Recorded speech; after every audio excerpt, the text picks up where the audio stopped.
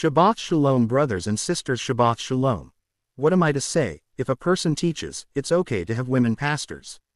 I will say to that person, It's written in the scriptures but I suffer not a woman to teach, nor to usurp authority over the man, but to be in silence.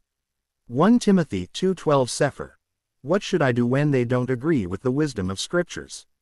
I will say that scriptures teaches if there come any unto you, and bring not this doctrine, receive him not into your house, neither bid him farewell. 2 John 1.10 Sefer. This goes for anyone be it your father, be it your mother, be it your brother, be it your sister, be it your relatives or friends, even the stranger, or any angel of Yahuwah. Why is that people will ask, it's written now I beseech you, brethren, by the name of our Adonai Yahusha HaMashiach, that ye all be of one word, and that there be no divisions among you, but that ye be perfectly joined together in the same mind and in the same judgment. 1 Corinthians 1.10 Sefer.